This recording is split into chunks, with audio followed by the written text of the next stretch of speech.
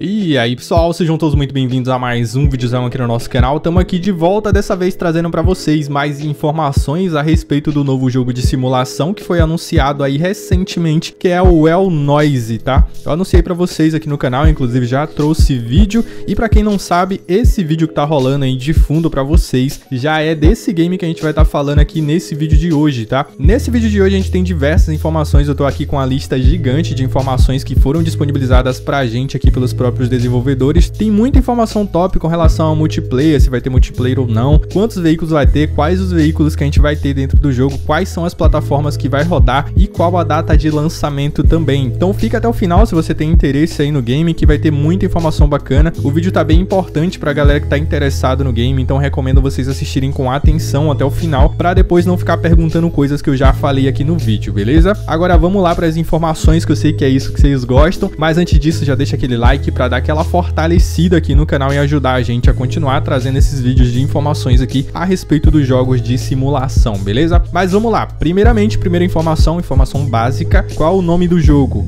Well Noise. Já falei para vocês no outro vídeo, mas como é um jogo novo, eu sei que nem todo mundo tá acompanhando. O nome do jogo vai se chamar Well Noise, tá? Ele tá sendo desenvolvido aí pela empresa Homeworld. Não sei se é assim que, pro, que pronuncia o nome da, da empresa, mas tá escrito aqui pra gente assim, o nome tá aparecendo aí na tela para vocês Word, eu acho que se pronuncia assim mais ou menos. O jogo ele vai ser um jogo de plataformas múltiplas, ele vai ser para PC, para Android e também para iOS. Aí surgiu a dúvida quando eu falei isso lá no outro vídeo. A galera tava perguntando como que um jogo desse, com esses gráficos absurdos, vai vir também pra gente no mobile. Como que pode, como que vai ser feito aí para eles trazerem dessa maneira. Então eles informaram aqui que o jogo ele tá com esses gráficos bonitos assim e vai vir também pro mobile com esses gráficos assim, obviamente um pouco reduzido, porque eles estão trabalhando aí com o um novo motor gráfico da Epic Games, que é o Unreal Engine 5, tá? Que ele possibilita trabalhar com gráficos melhores e deixando o jogo um pouco mais mais leve, tá? Não fica tão pesado quanto os motores gráficos que a gente já tinha antes. Mas mesmo assim, levando em consideração o mobile, isso aqui é muito pesado, mas aí eles explicaram algumas coisas aqui mais detalhadamente com relação aos gráficos, que é o seguinte. Eles falaram que Unreal Engine 5 significa que eles vão conseguir manter as texturas do jogo em ambas as versões do jogo, né? Tanto no PC quanto também no Android. As únicas diferenças que a gente vai ter vai ser com relação ao tamanho do mapa. No mobile a gente vai ter um mapa reduzido da versão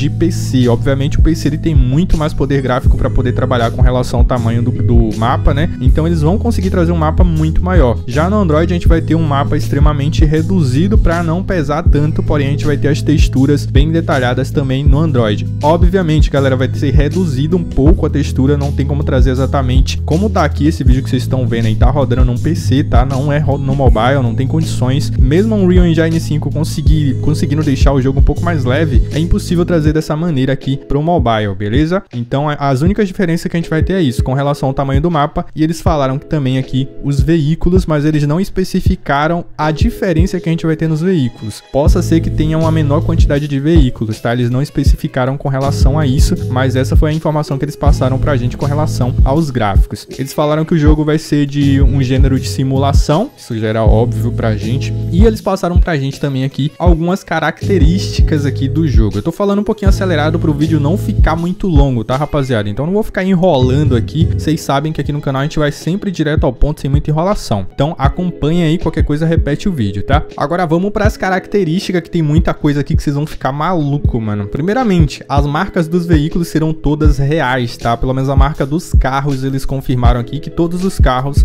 vão ter marcas reais dentro do jogo. Teremos também aí marcas originais de empresas conhecidas, como por exemplo os mercados, que a gente vai fazer ali as entregas com nossos caminhões e também teremos aí a marca das empresas de logísticas conhecidas também dentro do jogo, tá? Ou seja, serão ali as empresas para as quais a gente trabalha, as empresas que são donas ali dos caminhões e tudo mais. Obviamente, provavelmente a gente vai ter a possibilidade de comprar nosso caminhão, mas de início a maioria dos jogos de simulação normalmente a gente trabalha para as empresas, né? Então, muito provavelmente aqui no início a gente vai começar trabalhando para essas empresas de logística. Isso é muito bom ter as empresas originais dentro do jogo, né, mano? Transmite uma sensação muito mais de realismo, isso normalmente a gente não vê em nenhum jogo, em exceção aí o Euro Truck, que o Euro Truck ele tem as empresas reais dentro do jogo também, tá? Agora a respeito do mapa, eles falaram que a gente vai ter mapa com continentes, países e assentamentos reais, tá? Ou seja, todas as localizações que a gente vai ter dentro do mapa do jogo vão ser localizações que a gente tem também aí no mapa da vida real, ou seja, extremamente realista vai ser o jogo pra gente, rapaziada. E além disso, eles falaram que a gente vai ter uma ampla seleção de locais para trabalho e exploração, ou seja, a gente vai poder explorar também dentro do jogo, não vai ser somente dirigir e dirigir para poder entregar as cargas, mas a gente vai ter a possibilidade de andar por rotas desconhecidas para a gente poder ir desbravando ali o mapa conforme a gente for andando, tá? E agora a gente entra em uma das partes que eu achei que é uma das partes mais interessantes aqui do jogo e vocês vão entender o porquê. Eles falaram aqui que a gente vai ter a capacidade de controlar o nosso personagem enquanto a gente dirige e na vida cotidiana. Ou seja, a gente vai ter uma vida dentro do jogo, não vai ser somente dirigir os caminhões, tá? E isso é confirmado aqui na próxima coisa que eles listaram aqui, que a gente vai ter uma ampla escolha de profissões. Ou seja, não vai ser somente a profissão de motorista que a gente vai ter dentro do jogo. Obviamente, vai ser relacionado às coisas de motorista e tudo mais.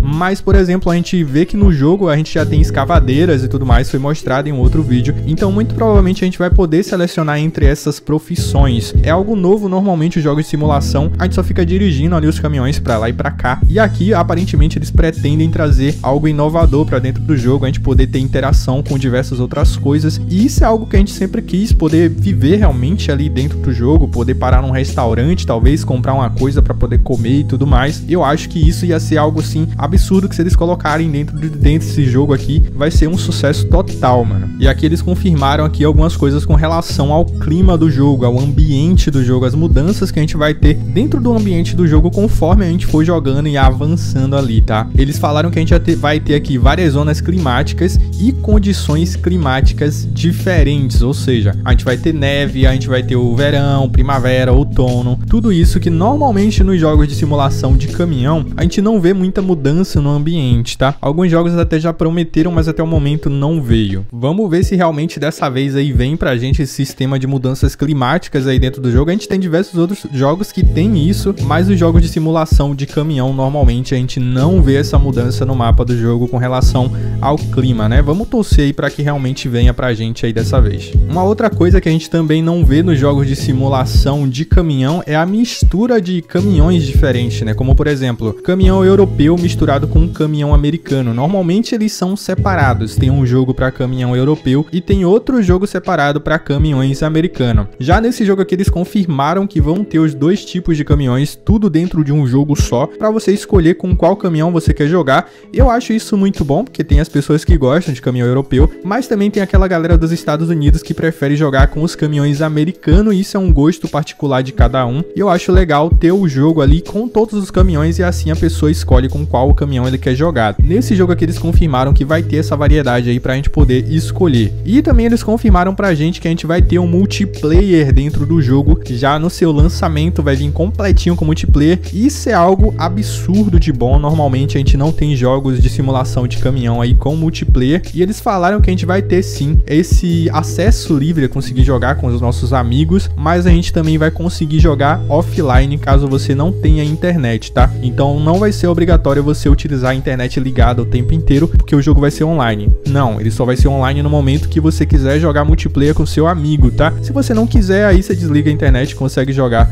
tranquilamente ali sem se preocupar. E já que tem multiplayer, eles adicionaram também aqui a possibilidade de você criar uma empresa junto com o seu colega que você tá jogando ali junto no multiplayer, para vocês avançarem com aquela empresa juntos, ou seja, vocês vão ter uma empresa no qual os dois vão poder trabalhar juntos na mesma empresa. Mas se caso vocês preferirem também, cada um vai poder trabalhar na sua empresa separadamente, mas a gente vai ter essas duas opções aí livres aí pra gente escolher dentro do jogo. E eles passaram aqui pra gente também aqui algumas coisas, algumas exceções de algumas coisas que a gente não vai poder fazer dentro desse jogo aqui, tá? Eu vou ler essa lista aqui para vocês. Eles falaram aqui o seguinte: os jogadores podem dirigir uma variedade de veículos, incluindo caminhões e carros. No entanto, ônibus, trens e aviões não estarão disponíveis para controle direto do jogador. Esses veículos ainda podem ser utilizados para fins de transporte, mas são controlados por inteligência artificial. Ou seja, esses veículos aqui, como ônibus, avião, essas coisas a gente não vai conseguir utilizar aqui dentro do jogo, tá? Isso é óbvio, não, não teria a possibilidade de a gente estar tá utilizando ali os aviões e tudo mais. Ônibus talvez seria interessante, mas eu acho que são gêneros totalmente diferentes, né? Não tem nada a ver se transportar carga com você transportar pessoas, e ônibus só transporta ali pessoas, eu acho que seria uma coisa totalmente diferenciada, então faz sentido eles separarem, beleza? Então essas coisas a gente não vai ter dentro do jogo. Agora vamos falar aqui um pouco a respeito das configurações necessárias para poder rodar o game, a respeito aqui da participação beta, o jogo vai ter sim uma beta,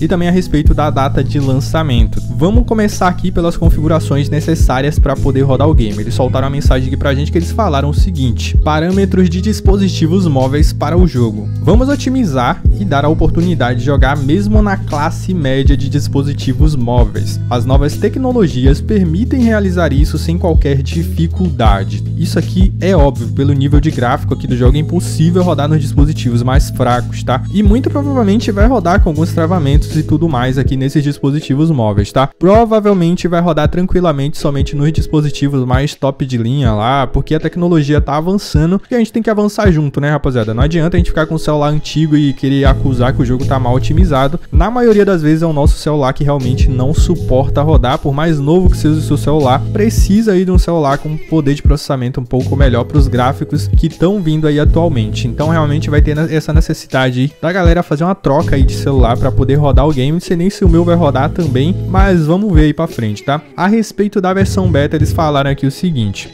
a própria empresa escolherá os participantes e não está aceitando inscrições. Todas as informações você obterá no momento certo em nosso site e servidor do Discord. Ou seja, não adianta pedir para ter um cargo de beta dentro do jogo. Eles mesmos vão selecionar as pessoas para poder testar. Obviamente vai precisar preencher um formulário e tudo mais. Então não adianta pedir, tá? Eles vão selecionar e lá eles que vão dizer quem vai ser aí os testadores beta. A próxima informação que a gente tem aqui é a respeito da data de lançamento lançamento. A data de lançamento vai ser em fevereiro de 2025, tá?